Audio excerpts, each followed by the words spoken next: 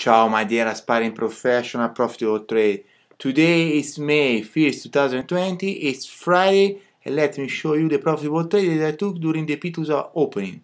Yesterday we got a trend down day or a lower day because as you can see market is below the previous day low and POC is lower and um, value area is still lower compared with the previous day of uh, um, Wednesday. During the Asia and both London session, market gapped lower and went even lower.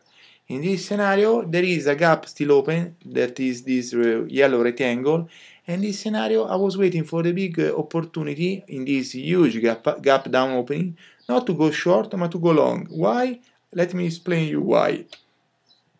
At the opening, I'm placing 5 pending buy order here, just on the on the high of the candle of the opening, on the one minute candle of the opening, because as you can see, market is taking the liquidity around this dashed white line that is the previous POC of a very long uh, days ago P2 session.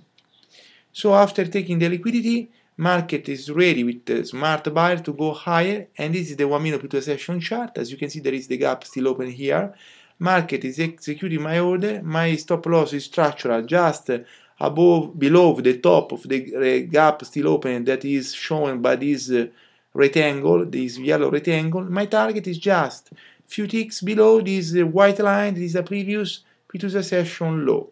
After my entry, market, as you can see, at the second minute and the third minute, market went higher and hit my target and then went even higher. But we don't consider what happened later what really matters in this job is profit and today with this quick long trade on this huge gap, down, gap down opening I collected $912 so my friend if you really want to trade like I do or even better in future stock option market trading with godly power totally in the flow then contact me now.